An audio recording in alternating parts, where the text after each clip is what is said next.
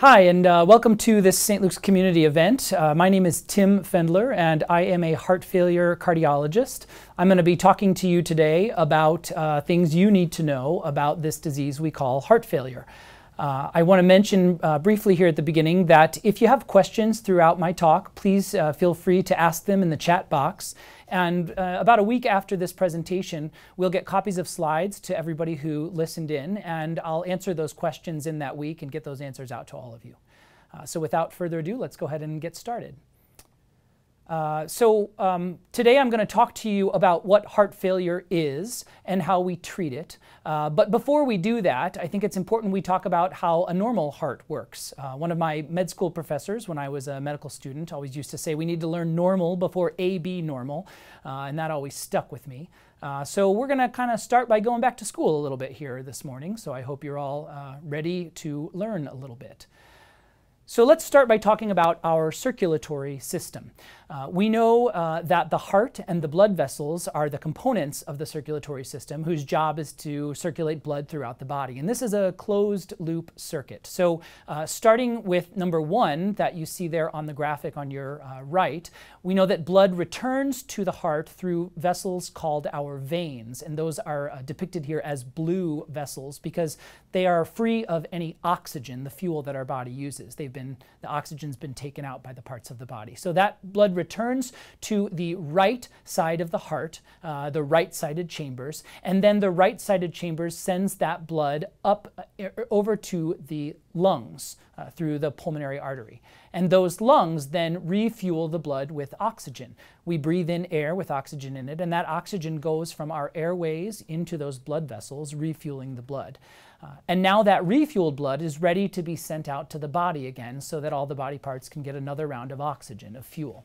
So now that refueled blood full of oxygen goes back through the pulmonary veins to the left-sided chambers of the heart. And then it's the left-sided chambers of the heart that send the blood out through the arteries. Those are the vessels that carry blood from the heart to the body parts that's full of oxygen. Uh, and the left ventricle, the bottom left-sided chamber of the heart, is really the muscular workhorse of the heart who takes on most of the responsibility of the heart of pumping that blood forward. And that uh, oxygenated blood then gets to our body parts where we can use the oxygen in our cells as fuel to perform uh, our daily duties uh, depending on which body part we are. Um, so we're going to focus in a little bit on the heart, which obviously is uh, the organ that I'm the most interested in uh, and that I think is the most important. So how do our hearts work? Uh, I oftentimes tell patients that the easiest way to think about their hearts is that the heart is sort of like a house. Any of you out there in the audience who are engineers or architects uh, will understand some of this verbiage a little more. So first we have the infrastructure or the architecture of the heart itself. This is the brick and mortar, the walls and the roof, the, the parts of the heart. So the heart has these four chambers that you can see here. Um, when we look at pictures of the heart, oftentimes the convention is that what's on the right in our body is on the left in the picture, and what's on our left in the body is on our right in the picture. So just remember that throughout this talk. So you see that uh, on the uh, left side of your picture are the right-sided chambers of the heart, the right atrium on top and the right ventricle below. And on the left side of the heart, which is the right side of your picture in red, are the left-sided chambers, the left atrium on top and the left ventricle below. The walls of these chambers are made up of heart muscle, and it's that muscle that squeezes and contracts to send blood forward from one chamber into the next through a valve or from a chamber into an artery or a vein. So after we talk about the architecture, the infrastructure, the brick and mortar of our heart, the anatomy of the heart, we get into the actual function of the heart. And for this, we're going to use uh, what is often used as engin in, in, engineering terms, MEP, mechanics, uh, electric electrical system, and plumbing. So starting with the mechanics of the heart, the heart has what we call a, a cardiac cycle, and it has two parts. Uh, there is the squeezing part of the heart muscle cycle, and there's the relaxing part of the heart muscle cycle. Other words you'll sometimes hear us use as cardiologists is the pumping part, that's the squeezing part, and the filling part, that's the relaxing part of the heart cycle. Uh, the medical terms for these parts of the heart cycle, which you can see in the graphic on this slide, are systole, when the heart chamber's muscle squeezes and pumps blood forward, either into the next chamber or out into a blood vessel And the other component of that cycle is diastole. That's where the heart chambers relax, the bottom heart chambers, and allow blood flow in, filling of blood the next time.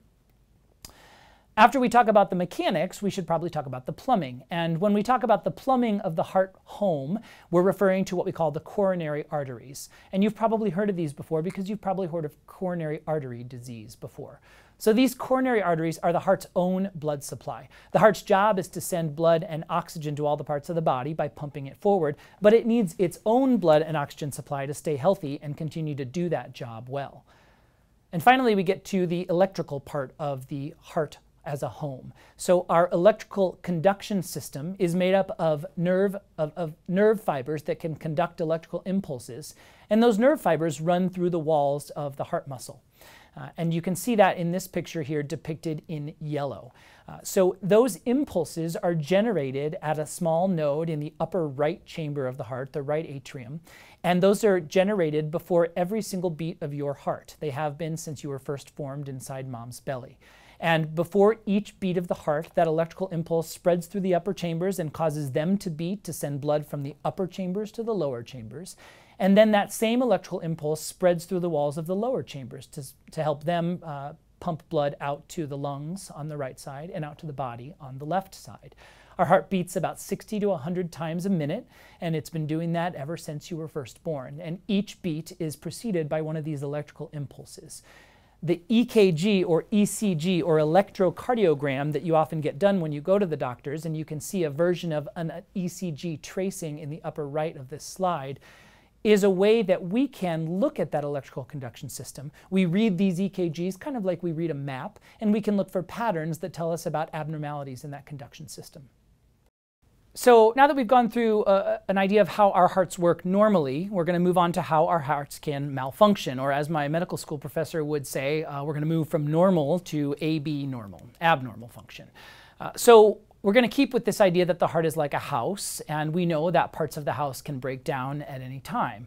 So when we talk about the infrastructure or the mechanics, the walls of the heart muscles can become weak or they can become stiff, they can get thickened. The heart chambers, which are like the rooms of the house, can become weak or dilated and stretched out. The valves that act like doors between the rooms can become stiff and not let blood flow through as readily as it would like to, or they can become leaky, and when the chamber squeezes, blood goes backwards through the system through those leaky valves. When we think about the plumbing system, the coronary arteries, which are like the pipes, they can get clogged or narrowed by cholesterol plaques, and that is what coronary artery disease refers to. Uh, and those pipes can get suddenly blocked if one of those cholesterol plaques ruptures, which happens spontaneously, and the body tries to contain that rupture with blood clot forming at the site, and that's what happens when people have heart attacks. And when we talk about malfunctioning of the electrical system of the heart, there can be a loss of electrical signals, uh, signal or shortages that occur, and the heart can forget to beat. So people can develop blocks in their heart. They, their heart slows down, or those signals aren't passed to cause the heart to squeeze enough times a minute. Or there can be too much excitement or stimulation of the electrical system, and the heart can then have abnormal or abnormally fast rhythms that can be dangerous or cause symptoms. When we talk specifically about the idea of heart failure as a disease. Heart failure can really occur when any parts of the house break down. There's no one thing that leads to heart failure. Um, what I do want to say before we talk more about what can cause heart failure is that heart failure is a poorly named condition, and, and that's on us. That's our fault as the medical community. Because the reality is, when people have congestive heart failure, the heart hasn't actually failed. It's not beyond repair. This isn't an irreversible problem or a terminal condition. The way I describe this to patients is that when a person is in congestive heart failure, it means that the heart is currently failing to keep up with the demands that the body is placing on it at that given time. And the good news about reframing the concept of what heart failure is as failing at a certain time to keep up with the needs of the body uh, is that we can get out of heart failure. Uh, again, as a medical community, we've kind of failed our patients because we've yet to come up with a better term. And this one's kind of seeped into uh, public awareness. So it's hard to get rid of a, of a label like this. But just remember that heart failure is not as bad as it sounds. Um, if the heart is failing to keep up with the demands of the body at any given time, like I said, that means that we can both go into heart failure, develop heart failure symptoms, but it also means more promisingly, promisingly that we can get out of heart failure. Um, so while some of us or some of you in our audience today may carry a diagnosis of congestive heart failure, patients who have heart failure do not have to live their lives in heart failure. And so the goals of treatment of heart failure have to do with extending life and improving chance of survival, yes, but also feeling better and improving your day-to-day quality of life so that heart failure doesn't cause uh, you to feel worse and limit what you can do as your life goes on. The goal then, once symptoms are, have gone away, is to prevent them from coming back, keep them away, keep people out of heart failure. So just an important way to think about this uh, title, this diagnosis, and, and the way that maybe it's a little bit more menacing sounding than it is in reality.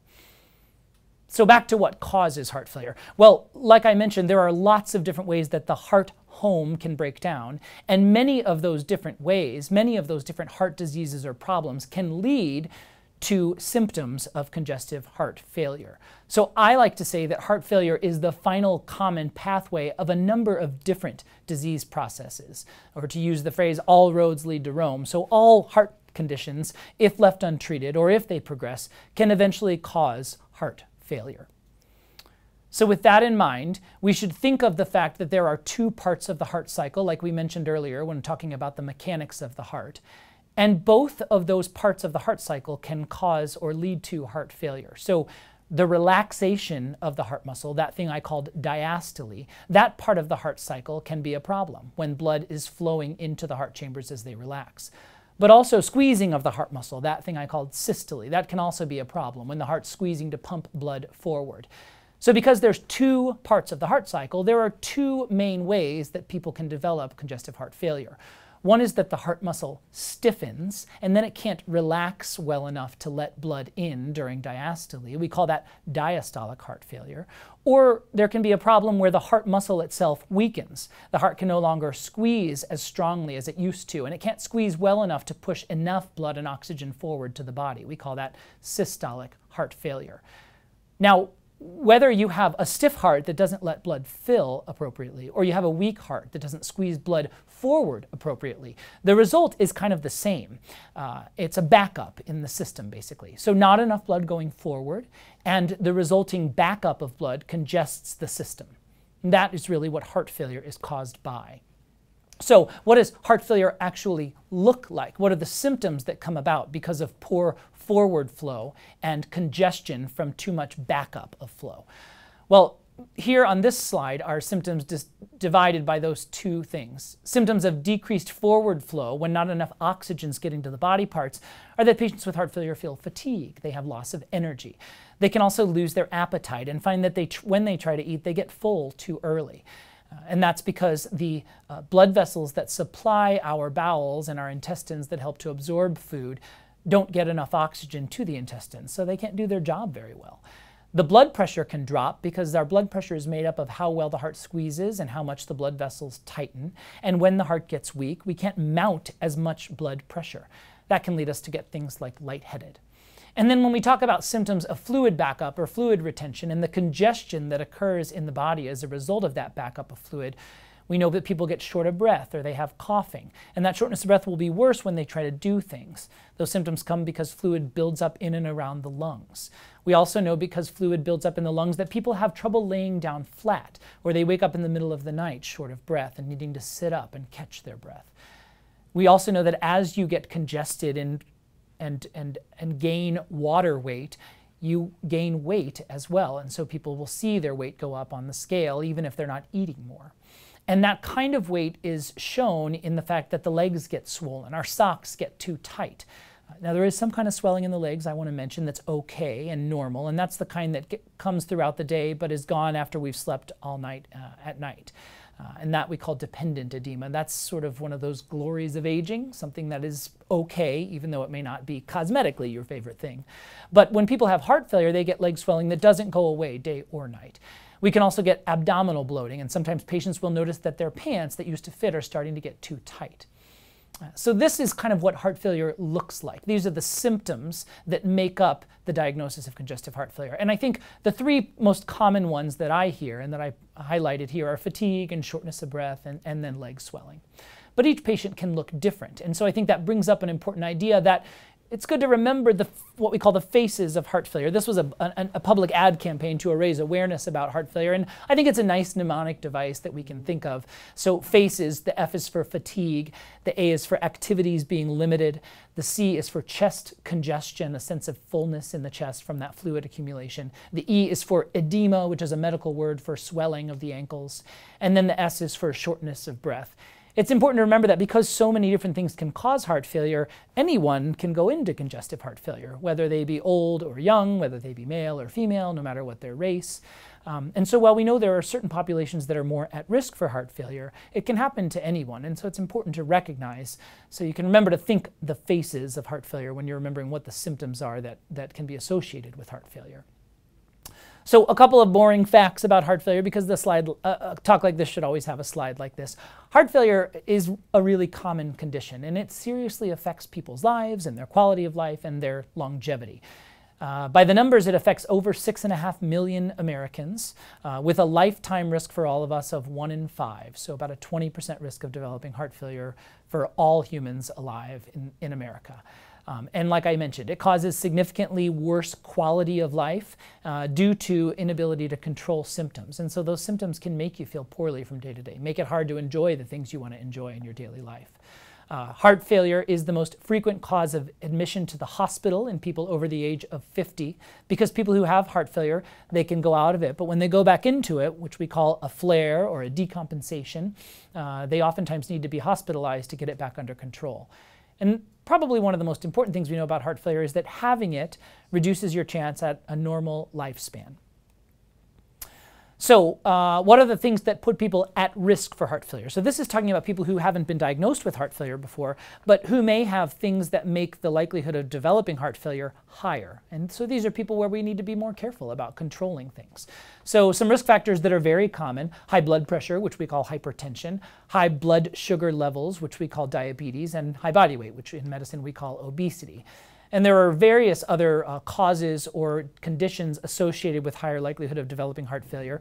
If you have heart attacks, which in the medical world we call myocardial infarctions or MIs, uh, that can lead to weakening of the heart muscle and heart failure. If you have heart valve disease, uh, stiffening or leakiness of valves. If you develop viral infections of the heart, which are exceedingly rare and that I don't want you to be overly worried about. We know that this can happen with COVID. You've heard of COVID myocarditis.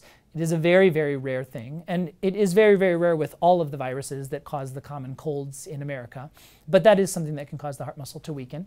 There's also genetics, so the DNA that you're born with, whether it is a newly mutated part of your DNA when you're formed inside mom's belly, or whether it is an abnormal part of your DNA sequence, your genes that's passed down from mom or dad. These can predispose people to weakening of the heart muscle over time. And finally, toxins, things like alcohol or drugs or chemotherapies, some chemotherapy that's used to treat certain kinds of cancer. These things can cause toxicity to the heart that can cause it to weaken. So, uh, probably one of the most important questions when we think about things that make you at risk for heart failure is how do we prevent heart failure? How can each of you do your best to make sure you're not one of those one in five who develops heart failure? So, we always say it's important to know your own numbers. You know, you get a lot of tests done, you get vital signs done when you go to the doctor we want to know those and we keep track of those, but we advocate that all of you keep track of those too because we want you to be a part of your health care. We don't want you to be a passive participant on the train. We want you to be driving the car that is your health. And we're in the passenger seat trying to help steer. So it's important to know what goals are for certain numbers. So your blood pressure, we like the top number to be less than 130 and the bottom number to be less than 80, ideally. Body mass index, which is a way to incorporate both your weight and your height, uh, and it's a way that we we measure weight uh, and how we control for height because a really tall person is going to be heavier, right? So a BMI less than 25. Cholesterol, we want your total cholesterol less than 200. We aim for an LDL, that's what we sometimes call the bad cholesterol, of less than 100. And an HDL, which we call the good cholesterol, uh, higher than 45. And then the hemoglobin A1C, this is a test that we use to screen for diabetes In a diabetic patient, we want the hemoglobin, hemoglobin A1C less than 7% with good control of diet and medicines if needed. And for patients who are not yet diabetic or who are pre diabetic, we like the A1C to be less than 5.7%. And finally, a number called the ejection fraction, which we'll talk more about later. Uh, that has to do with how well the heart is squeezing. And we aim for a goal normal ejection fraction, and normal is greater than or equal to 55%. And like I mentioned, we'll get, we'll get more to that later. But it's good for you to know these numbers and keep track of them over time. So, how do we actually diagnose heart failure? Well, it's important to say that early diagnosis is, uh, is important because the earlier we find abnormal function of the heart muscle leading to symptoms, the earlier we can get started on treating it and getting people out of heart failure and then working on keeping them out of heart failure. The most common test that's ordered when heart failure is suspected is an echocardiogram or an ultrasound of the heart. And you see a still picture of an ultrasound there. Ultrasound pictures of the heart in an echocardiogram are actually moving pictures. So we see the heart squeezing and relaxing, and we see the valves opening and closing. Um, and an ultrasound is the same thing that a pregnant lady gets on her belly. So it's that ultrasound probe with some gel, if you've ever seen that done before on a pregnant mom. It's a pretty easy test to get done. It's non invasive, it doesn't take more than about 20 minutes or so. It's not something everybody needs. It's something that's only ordered if we suspect this diagnosis. Uh, it can also be ordered for a number of other ways to evaluate other heart problems outside of a possible heart failure. So the echo test shows me, your doctor, how well the heart squeezes and how well it relaxes. Remember I mentioned systole and diastole earlier. It tells the doctor how well the valves open and close.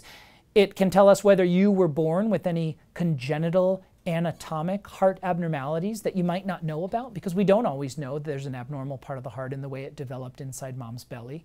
But those abnormalities can lead to problems later in life. Uh, and it can also look for any evidence of previous damage from something like a heart attack, a blocked coronary artery that's led some of the heart muscle to not squeeze as well. And that ejection fraction that I, measure, that I mentioned on the last slide is measured in an echocardiogram. And, in the simplest terms, what an ejection fraction tells us is how well the heart's pumping. It looks at how big the heart gets during the relaxing phase and how small it gets during the squeezing phase, and compares those two sizes to get a sense of how much blood is ejected each time the heart squeezes compared to how much blood fills the heart before the ejection. So in a healthy heart, as I mentioned earlier, uh, the ejection fraction at a normal range is between about 55 and 70 percent. So when we talk about now how we treat heart failure, this is sort of getting into the next phase of the talk. Uh, the first thing I want to mention, and one of the things I want you to remember, is like I said earlier, you can get out of heart failure after you're diagnosed with it. So people with heart failure can live normal lives, normal length of life, and have normal quality of life. There are certain medications and certain devices and therapies that have been shown in trials that we do to be able to increase the likelihood that your life is prolonged, that you lead a normal lifespan compared to people your age. Uh, and these trials have also shown that certain medicines or devices or therapies can improve symptoms and function in day to day life and thus improve quality of life. And more importantly, that once you get out of heart failure, these treatments can hopefully help to prevent you from going back into heart failure, can maybe even sometimes re-strengthen the heart, and it definitely try and stop that heart failure from worsening or becoming a bigger problem in your life. Now, still important, although we're going to talk about medicines and devices and therapies, is that eating healthy, exercising regularly, and keeping your weight in the normal range are really important ways to keep the heart de-stressed and to minimize the chance that you develop heart disease as life goes on. So, um, I should mention briefly that there are different types of heart failure. I mentioned earlier systolic heart failure, a problem with the squeeze, weakening of the squeeze, and diastolic heart failure, a problem with uh, inability of the heart to relax because it's too stiff. And so we should say that different types of heart failure are treated differently. There are more types of heart failure outside of these two, or more causes of each of these two types of heart failure, and many causes of heart failure might be treated differently by your own doctor. Uh, but I at least want to mention with these two, again, systolic heart failure, a problem with the squeeze, and diastolic heart failure, a problem with the relaxation of the heart. Both of these are really common, and the incidence, the frequency with which we see patients with these two kinds of heart failure is about 50-50 in the US population. So about half of people with heart failure have systolic, and about half have diastolic heart failure. But each is treated differently. We're going to focus a little bit more on systolic heart failure, if for no other reason than because we just have a lot more science behind how to treat it well. We know that there are things that can help to improve longevity and symptom control. With diastolic heart failure, we're still working really hard in the labs and in our science to figure out how to help patients better, but we just don't know as much. So when we talk about medications for systolic heart failure, here's a list of different classes of medicines we use, and I'm going to go through each of these in a little bit of detail. I don't want to overwhelm you with too much data, uh, but I'll go through each of those. What I will mention about diastolic heart failure is that some of the same classes of medicines are used and have been shown to help people feel better and hopefully keep people out of the hospital. But until very recently, none have been shown to improve longevity, to increase your chance for survival for a nice long normal lifespan. And that's kind of the, one of the most important metrics we use to judge whether a treatment is successful in a given condition in how we study uh, disease in, in science, in medicine in, in America today. Um, so uh, there's this medicine called SGLT2 inhibitors. I'm going to talk about them when I talk about systolic heart failure treatments. They're kind of one of the new kids on the block for medicines we use to treat heart failure, and they are the very first medicine that we think, although studies are still ongoing, may actually have what we call a mortality benefit in diastolic heart failure, problems with a stiff heart muscle that doesn't fill well. Past that, we're not going to talk too much about diastolic heart failure treatment today. What I will say is that people who, die, who have diastolic heart failure oftentimes succumb to other medical conditions because they oftentimes have a number of other conditions like high blood pressure, diabetes, obesity. People who have systolic heart failure tend to succumb to systolic heart failure. Um, so the focus is really on how to treat that systolic heart failure. So I'm just going to, like I said, briefly go through some of those classes of medicines. The first class and some of you may be on these for other reasons because we use these medicines for more than just heart failure. The first class is called ACE inhibitors. Uh, they end, all of them, the generic names end in PRIL, PRIL. And so you see here the generic name listed first, and in parentheses is what we call the brand name for each of these drugs. So these are blood pressure lowering medicines. They can be used for people with high blood pressure without heart failure, but they've also been shown to help relax the, uh, the blood vessels, which tend to get really tight and squeeze really tight when the heart starts, stops pumping well and the heart muscle gets weak. And so by dilating blood vessels, these medicines, although they sometimes lower blood pressure, can help the heart to pump forward more effectively when it's struggling to do so. Um, and they can improve survival by a quarter to 50%. So a really strong medicine uh, in treatment of systolic heart failure. They were the first class of agents that we ever found through trials help uh, outcomes in heart failure patients. Um, and they can delay the onset of heart failure symptoms in people who don't have heart failure yet. So, for example, if you have high blood pressure and your doctor prescribes an ACE inhibitor, like, say, lisinopril, you might actually be getting some benefit in preventing heart fail failure in the future. A very closely related uh, medicine uh, to ACE inhibitors are angiotensin receptor blockers, or ARBs for short. And they all end in this uh, ending of, uh, of S-A-R-T-A-N, so valsartan, candesartan, losartan. And these are sort of like cousins of ACE inhibitors. They work in a very similar mechanism to ACE inhibitors to dilate blood vessels and help the heart pump blood forward more effectively. They've also been showed to improve survival in patients with systolic heart failure. And oftentimes patients on ACE inhibitors can develop well-known side effect of a cough. And when that happens, we can switch them to an ARB, and then they don't have a cough anymore most often. Uh, and these medicines have the same similar, excuse me, the same potential side effects uh, to ACE inhibitors, things like stressing out the kidneys or lowering blood pressure, but again, they don't cause the cough. Uh, and then uh, there is a newer medicine that's a combination of an ARB, valsartan, and sacubitril. And that combination pill is called Entresto, and you've probably seen commercials about it. It's one of the newest medicines we have available. So it's a combination pill.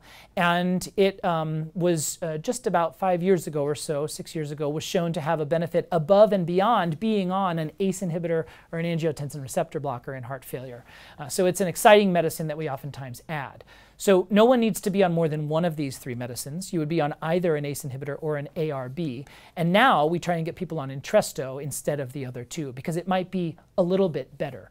Just like all newer medicines, Entresto is more costly and it can be more difficult to get it covered by your insurance, but that's something your doctor and team and team can help you with if it's the right medicine for you. Um, so the next class of medicines are called beta blockers. And uh, beta blockers are uh, one of the oldest blood pressure medicines we have out there. They also lower heart rate, and they are the second uh, kind type of medicine that was shown to be helpful in people with systolic heart failure. So they're one of the first medicines we try and get people on.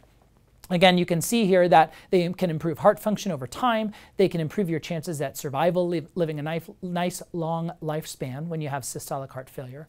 The thing to know about beta blockers, uh, which again you may be on for other reasons like blood pressure, uh, too high of blood pressure or abnormal heart rhythms, the thing to know about these is that sometimes when you first start on them with heart failure, they can actually make your symptoms slightly worse before they start to make them better.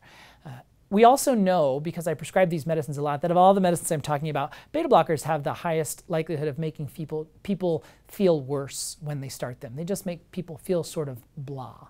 Uh, so it's important to know that and talk with your doctor about it. It's important to not ever give up on the medicine without talking to your doctor first.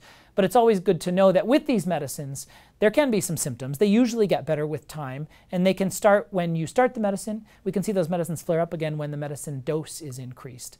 Um, when we talk about uh, aldosterone blockers, these are yet another blood pressure lowering class of medicines, like these other ones I've mentioned, that have been shown to be helpful in heart failure. And there are two of these, spironolactone and eplerenone are the two generic names. The brand names are there in parentheses. And these are added to the other two medicines, either an ACE inhibitor or an ARB or now Entresto as one medicine, and a beta blocker as the second medicine. This medicine can be added as a third agent it is a weak water pill, or what we call a diuretic. It doesn't cause you to have a lot of extra urination. It can lower blood pressure, though not as well as the other medicines I've mentioned. But it has been shown to improve survival in certain patients with a weak heart muscle, though not all. So you may develop systolic heart failure, but you may not get put on this medicine by your doctor, depending on certain specific details about your heart failure. The other thing to know about these medicines is like ACE inhibitors and angiotensin receptor blockers and Entresto, they can stress the kidneys out. They can do that even more so. So sometimes when people have kidney disease in addition to systolic heart failure, we're not able to use this class of medicines. Uh, the next class of medicines are the newest one I told you about. So we now have four drugs that we recommended for all people with systolic heart failure, either an ACE or an ARB or Entresto. That's number one. Beta blockers, number two those aldosterone blockers number three, and now these SGLT2 inhibitors. And if you'll remember, I told you that these are the only medicine that we think may also have a survival benefit in people with the other kind of heart failure, diastolic heart failure, a stiff heart muscle that doesn't fill well. So this is a really exciting new class of medications for us because new classes don't come along often that have a really big benefit in our patients. These medicines, uh, which the generic name ends in a very uh, difficult to say ending, gliflozin, and you've probably seen commercials for these too because they're new, and so the pharma companies are really kind of shilling them these days. Uh, Jardiance, and Invokana are the brand names for these medications. So these are actually a pill originally created for people with diabetes, high blood sugar, and they can help to lower blood sugar. But what we found, which was a nice surprise is that they can also help people with heart failure in the same way that those other three classes of medicines can. Help people to have a chance of living longer lives and having better quality of life, staying out of the hospital, having their heart failure stay controlled. So even though this is a diabetes pill, we have now tested it in non-diabetics and it can be used if you don't have diabetes. It doesn't cause any risks of low blood sugar or anything like that. And unlike the other three classes of medicines, SGLT2 inhibitors are the only systolic heart failure medicine that doesn't lower blood pressure. So that's rare and it's a, a, plus because sometimes when we're trying to get people with systolic heart failure on all these medicines, we run out of blood pressure room. Uh, so this is one we can put on even with low blood pressure. The only side effect that's known with these medicines is an increased risk of yeast infections, genital mycotic infections. And so for women who have frequent yeast infections, sometimes this isn't a safe medicine to use.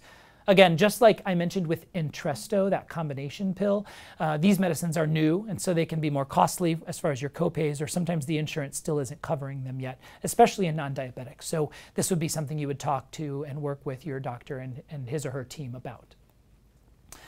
There are other medicines that have much more narrow indications. We don't use them on everyone. So there are these medicines we call vasodilators, and specifically it's two medicines that we use together. Again, both blood pressure lowering medicines. Uh, isosorbide dinitrate, kind of a mouthful. The brand name is Isordil. And then a medicine, a really old medicine called hydralazine, also a blood pressure lowering medicines medicine. Sometimes we use this combination of pills in people who can't be on ACE inhibitors or ARBs or Entresto because their kidney function isn't normal. Uh, these medicines don't affect the kidneys. They do lower blood pressure. Uh, one of the downsides is that they have to be dosed three times a day, so that's quite frequent to have to take a pill, which can be a pain. And these medicines specifically have been shown to help improve survival in African American patients who are already on the other medicines that I mentioned. Then we have a number of medicines that haven't been shown to improve the chance at survival and leading a nice long normal lifespan. So they may not be quite as effective in systolic heart failure, but they can still make you feel better from day to day or keep you out of the hospital. And those include diuretics, uh, medicines that make you pee, medicines like furosemide or Lasix and other uh, closely related medicines to that, a very old medicine called digoxin, which can help to lower the heart rate and keep you out of the hospital, and then a medicine called ivabradine. The brand name is Corlanor. That's a medicine from just about seven years ago that can also lower heart rate and keep people out of the hospital. So these are medicines that not everybody is on and that the doctors may push a little less to get someone on with systolic heart failure if their symptoms are controlled on the first four classes I mentioned. But sometimes these will be added to help control symptoms or try to keep improving uh, long-term prognosis with systolic heart failure. The most important thing probably to know about medicines is that with most medicines we try to increase the dose as much as possible because higher doses have been shown to be more effective in trying to keep the heart strength, keep the heart strong, keep it supported, uh, and keep you living a nice long life. But it's important also to know that more is always better until it's not. So I mentioned to you that a lot of these medicines lower blood pressure, and just like all medicines, these medicines can have side effects. So sometimes increasing those doses can be limited.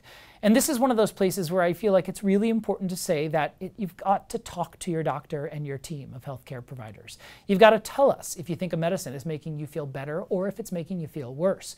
And I also want to encourage you to always give things a good try. Develop a trusting relationship with your doctor. Give something a try. And even if it causes problems early, if the doctor asks you to give it a try, keep trying it. Uh, because sometimes if you give up too soon, you may not take the medicine long enough to realize the side effect can go away and you can realize the benefit. The bottom line here is that communication with and trust in your doctor is more important than any pill or any procedure or any therapy that you undergo. Uh, and that requires you and your doctor to communicate. So, other things outside of medicines, uh, exercise therapy. We know exercise is good for the heart, and even a weak heart still should exercise. It's good for a weak heart, and it's safe for a weak heart to exercise. Specifically, there is a structured exercise and education program that's been tested called cardiac rehab uh, that sometimes people qualify for. Most insurances will cover it for most patients with heart failure, at least one round of cardiac rehab, which is a number of, uh, of sessions uh, in a cardiac rehab facility. And St. Luke's does have one of these. And cardiac rehab, the structured exercise and education program, has been shown to improve muscle tone, increase bone mass, to make it easier to do activities of daily living uh, it helps people understand what thresholds they can keep as far as things like weight training, how they can safely incorporate different ways of exercise without overstressing the heart or putting themselves at risk. And cardiac rehab has been shown to improve quality of life and survival, just like all the medicines I mentioned. Uh, more importantly, I think there's a nice educational component to the cardiac rehab program where you learn about diet, exercise, lifestyle, so that you can confidently navigate your world even with a diagnosis of heart failure. And finally, a more intangible maybe hard to see benefit, but one that I experience or have seen patients experience, is that you go through cardiac rehab with other people like you, people who are coping with heart failure, heart disease, heart attacks. And by meeting others who share your experience and socializing with them, I think it gets easier to feel like you're not alone when you develop symptoms or, or get diagnoses of things like heart failure. Self-management is also important. I'm not going to talk about this too much, uh, but it's important to restrict how much salt you take in. In general, the rule is that salt uh, is that water follows salt in the body. So the more salt you eat, the more water you're going to retain. And when your heart is already weakened and not pumping blood forward well, or when it's stiff and not letting blood in, you're already retaining fluid. And so eating a bunch of salt will cause you will cause that to get even worse. So it's important to read labels, look at goal intake of sodium per day for your weight and your gender, and try to make sure that you hew to a safe, heart healthy diet. Uh, we oftentimes ask our heart failure patients to weigh themselves daily and to look for certain gains, like more than two pounds in a day or more than five pounds in a week. That can be that fluid retention building up. Like I mentioned on the last slide, we do encourage exercise even with a weak heart muscle. There's very seldom a case where we tell a patient not to exercise. And the last thing is the importance of vaccinations. There have been great studies that have shown that patients with heart failure are more at risk for dying from things like influenza or pneumonia. And we now know that we can lump COVID into this. So, getting vaccinated yearly against influenza, getting vaccinated once or twice in your life against pneumonia, depending on your doctor's recommendation, and so far getting vaccinated with a two series uh, shot for COVID, and in certain patient populations now getting a booster, uh, have been shown to be helpful in preventing problems in patients with heart failure who are at higher risk for complications of these infections because of their weak heart muscles. Uh, there are a number of other medical conditions and diagnoses that can impact or worsen your heart failure, and so here's a list of those here. Um, In general, uh, we want you seeing a cardiologist if you have heart failure, but you should have a primary care doctor and sometimes more specialists if you have a significant disease or chronic conditions of other organ systems. Um, the last thing I want to say, and probably a really important thing, although something that's not as much about science or hard data, is that it's really important mm. that you talk about your disease if you have heart failure, how it affects your life, and what your goals are in your life, and how heart failure may hamper them or affect them. I want you to talk to your doctor and your healthcare team. I want you to talk to your family and your friends and the people that you love and that love you and that are invested in your care and in your longevity talking to a spiritual advisor or a counselor if that's something that's helpful for you, and talking to yourself. Uh, I think that thinking and talking about your health and your health conditions and your health challenges now, when you're feeling well, if that's the time you're in, can help to simplify and clarify and ease difficult decisions that can come later as we get nearer to the end of life, as we age, or as our diseases become harder to control. Um, it's important to make plans now for what you would do or what you would want or what matters to you if or when you get sick in the future or if or when you approach the end of life. Um, and I encourage patients to try and plan based on their own values and goals and preferences. Now, it's important to know that those plans are going to change, right? They're going to change as you get older. They're going to change as you go through different experiences. So, after you've had this initial round of thoughts and talks with the people that matter in your life and with your healthcare team, I want to encourage you to revisit and reevaluate periodically whatever goals you've set forth, whether it's in an advance directive or setting up a durable power of attorney or stipulating with the people that matter to you in your life what you would and wouldn't want done for you to try and keep you alive if you get into tough heart, uh, situations due to your heart failure. Things change, and so you should continue to revisit these ideas because your goals and values and preferences might change. Uh, and finally, like I said, share those plans with the people that matter. If you know, they should know. That's how I think of it. The last thing we're going to do briefly is touch on devices and remote monitoring for heart failure. Um, there are a couple therapies that have been shown to improve survival and outcomes in people with heart failure. One of them is called cardiac resynchronization therapy, or CRT. This is something that is sometimes added on to a pacemaker or a defibrillator, different kinds of implantable devices some patients get. It's important to know that not everyone with systolic heart failure needs a pacemaker or a defibrillator. So you may develop systolic heart failure, but you may, it, never, it may never be recommended you need a device like this. This CRT therapy, what it does is it synchronizes squeezing of both the right and left sides of the heart. Sometimes when the heart gets sick, one side, the chambers will squeeze just slightly before the other. And that dyssynchrony throws everything off because that circulatory system we talked about at the beginning is a closed loop. And so blood needs to flow continuously. And anything that causes dyssynchrony in that pattern can, uh, can cause worsening of forward flow or backup of flow, causing congestion. Like I said, this is appropriate only for patients with certain findings, and we use findings on the EKG to see if someone has significant dyssynchrony between the left and the right side of the heart squeezing.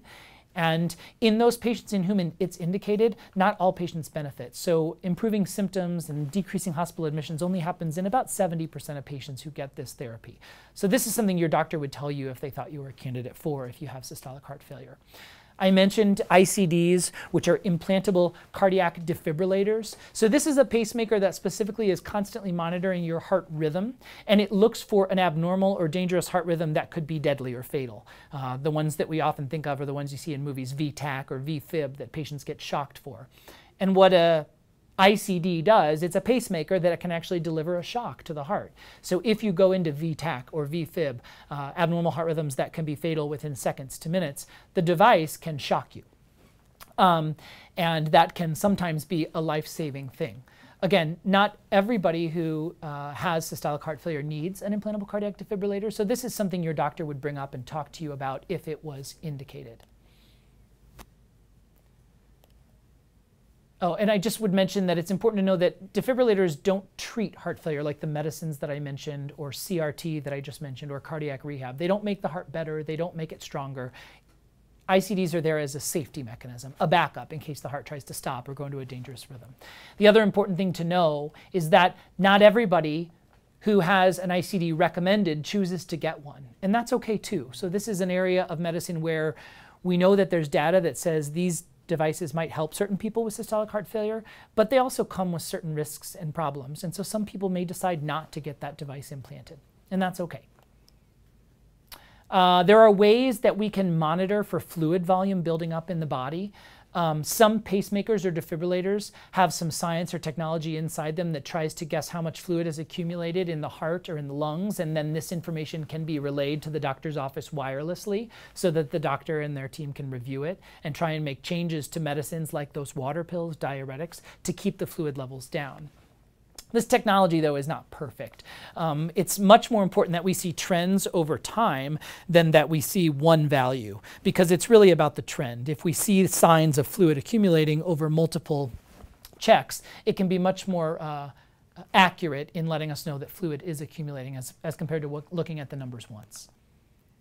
Uh, there is a newer kind of implantable cardiac monitor uh, and this is a picture of it here, and you see it right next to a dime. So you see it's very small. The device is called a CardioMEMS, and this specifically tries to look for evidence of fluid accumulating like 10 to 14 days before a patient with heart failure would develop symptoms of that fluid accumulation. So it tries to let us know and alert us ahead of time, before the symptoms ever start, before you ever need to come to the hospital, uh, so that we can call and say, hey, looks like the pressures are going up a little bit. We need to take an extra water pill for a couple days. The idea is that with this device, sometimes we can keep people out of heart failure, keep symptoms at bay, keep you from having to get admitted to the hospital for a heart failure flare. This is a really safe uh, device once it's in, and actually it's very low risk to have it implanted. Again, this is one that not everybody needs, uh, but that your doctor may talk to you about. And it easily sends information wirelessly, just like pacemakers and defibrillators can. Uh, the last thing to mention, and I'm going to mention this briefly because there's really not a lot of science behind these, there are a number of platforms that have been created. The one you see on top, Vital Connect, you can see a, a, small sticker that's shaped like a peanut, and that can be laid on top of your pacemaker or defibrillator if you have one implanted. And the doctor can grab a bunch of data from your pacemaker or defibrillator uh, and track a bunch of data, a bunch of different data points over time. The one on bottom, HeartLogic, is actually like a very small version of a pacemaker that's implanted in addition to, so it's a separate device completely from a pacemaker or a defibrillator. The idea is that these devices are trying to look at tons of different things because we can look at your daily weight, or we can look at how swollen your legs are, or we can look at your ejection fraction. But what we know in medicine in general is that if we look at a number of different things to try and get at whether there's a problem, the more data we look at, the more whole of a picture and well-rounded of a picture we can get of how well your, your heart failure is controlled, how much you're accumulating fluid as a, as a result of either a weak squeeze or a stiff heart muscle. So many have been created. These are two of the ones that have been the most well tested. And to be honest, none of these systems that try to look at a number of different parameters have been shown to be really effective in improving survival. Sometimes maybe they're better at controlling symptoms or helping people stay out of the hospital, but even that data is kind of questionable. Um, so sometimes the way I think of these platforms is that they may help us with patients who have really struggled. They keep getting admitted to the hospital. They have trouble keeping fluid off, even being compliant with their medicines and a good diet and activity levels. And in those patients, these platforms of monitoring multiple different things may help us say, you're a really high risk patient and we need to be really careful about you in the upcoming week or two because it looks like you're heading for a flare and an admission to the hospital. But the jury's whether out, uh, the jury's still out on whether these are really helpful. I think the most important thing to know is that more is not always better when it comes to things like this. Um, and I'm not certain as a heart failure doctor that this is going to help just yet, but something we're still studying. Probably more prevalent is wearables. Everybody's got an activity tracker now or a smartwatch that attaches to a phone app. And we're getting more and more questions from you patients about these and what these numbers mean. I think that these can be really helpful in uh, you understanding how much activity you're doing or helping you increase your exercise to a certain goal every day. It can be helpful in moderating and tracking your diet and making sure you're keeping a heart healthy diet avoiding too much sodium intake. But I also think as a doctor who deals with patients coming in and asking questions based on data they're getting from their wearables, uh, that sometimes they can provide what the kids call TMI, too much information. So uh, doctors aren't always familiar with the device you use or the data that it yields or how it comes out or how it looks in the interface. And our guidelines that we use, kind of like our Bible for how to treat our patients, they don't really tell us to do what to do with any of this information yet. So sometimes bringing this information can be helpful, and sometimes it can be overwhelming. I don't want to dissuade you from bringing that information in if you use a wearable or use an app. I think it's important to include it in the conversation with your doctor. I don't think these things can hurt. I just don't know yet if they actually help. And when we know there are certain things that do help, the medicines I've mentioned, the therapies I've mentioned, the devices I've mentioned, that's where I really want to focus my time. And then if there's time, I do want to talk about these things with you and help give you guidance. But I'm kind of uncertain how much I know and how much I can help you with the information these kinds of things provide. So just an important caveat for you to know. And that's what I've got for you. Uh, I'm going to go ahead and answer the, some of the questions that were submitted ahead of time, ahead of the talk today. And as I mentioned earlier, if you have submitted questions in the chat during this uh, viewing, they will be addressed uh, next week when we send out a copy of these slides. So please don't hesitate to add more questions. So these are some of the ones we got earlier. Uh, first, what's the relevance of periodically occurring atrial fibrillation or skipped beats? So atrial fibrillation is the most common abnormal heart rhythm. It's an abnormal uh, problem with the conduction system in the upper two chambers of the heart. Uh, and a number of people feel things like skipped beats or palpitations in general, it's okay to go in and out of atrial fibrillation if you have it, as long as you're on a blood thinner, uh, which protects you from stroke that can happen in the setting of atrial fibrillation. And in general, if you're having periodic skipped beats or a sensation of irregular heartbeats or palpitations, it's an important thing to tell your doctor. And oftentimes, what we'll do is we'll send a monitor to your home that you can wear under your shirt for a day or three days or two weeks or a month. And that's a good way for us to look for any abnormal rhythms that need treatment. Uh, someone asked about uh, an opinion on carvedilol, that's one of those beta blockers I mentioned, and dose after aortic valve replacement. So this is someone who uh, knows someone or themselves underwent a surgical replacement of their aortic valve or a catheter-based replacement of the, of the aortic valve. There's no specific indication for carvedilol or the class of medicines called beta blockers after aortic valve replacement, uh, but many people who have an aortic valve replacement or have had one either have systolic heart failure or they have high blood pressure, and so they may be on a beta blocker for those reasons. There are other conditions that cause the aortic valve to become pro a problem and need to be replaced that can also cause changes in the aorta, which is the large artery that all the blood that leaves the heart goes through. It's a large candy cane shaped artery that all the other arteries branch off of. And if that aorta gets diseased or dilated as a result of problems with the aortic valve, a beta blocker is oftentimes recommended to de stress that area of blood flow and keep that aorta safe from any further damage or abnormal changes.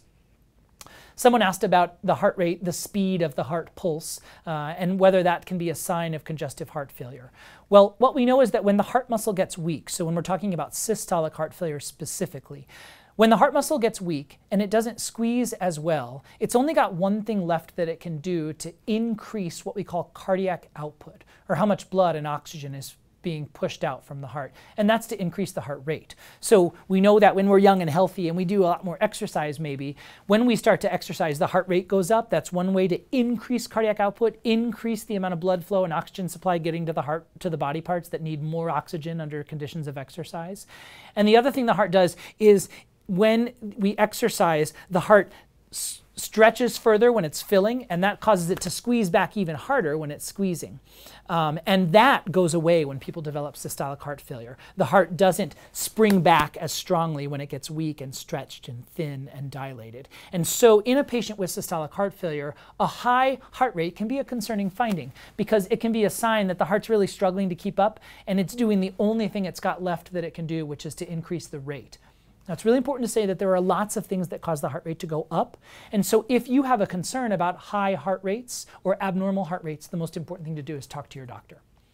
Uh, someone asked about uh, brain natriuretic peptide, or what we call BNP, and whether it's a reliable indicator of heart failure. So, this BNP is a hormone that gets secreted from the heart muscle cells when the heart is getting stretched and dilated by extra fluid. And so it is something we use to look for evidence of heart failure in a person who maybe hasn't been diagnosed before.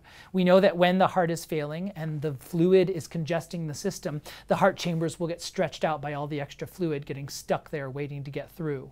And that will cause the heart muscle cells that are being stretched to release this BNP, which helps the body make more urine to hopefully get rid of that extra fluid. So it is an, an, indicator of heart failure. Whether it's reliable is another question altogether. It can be falsely low in people who are overweight, and it can be falsely high in certain medical conditions. So while it is something we use, it's probably not something you need to worry too much about. It's one of the many tools we use to track whether we think you're having heart failure or not, or whether your heart failure is well controlled or not. Uh, someone asked, uh, how can I tell the difference between signs of aging and heart failure symptoms? That's a great question. I don't know that I have an easy answer. I oftentimes refer to what I call the glories of aging when I'm talking to my patients. I think I might have used that phrase earlier when I was talking about normal kinds of swelling in the legs. Um, as we get older, the body ages and all the parts of the body age, and so things work less effectively. What I tell people to really be vigilant for is a really different change or symptoms that develop that seem out of proportion to your level of physical fitness or your level of activity. Um, in general, with heart failure, I ask people to look for a constellation of symptoms. Usually it's not just one thing. Usually it's swelling in the legs, trouble breathing when you lay down at night or waking up in the middle of the night, short of breath. Noticing that when you try to do things that you could do a year ago, you get a lot more short of breath or a lot more fatigued. Things like climbing one set of stairs that used to be easy that now really takes it out of you. Um, these are the kind of things I would want people to be looking for. And it's really important to think about the constellation of symptoms, not just one thing, because people with heart failure tend to develop fluid accumulation in multiple places, and that leads to multiple problems or multiple symptoms.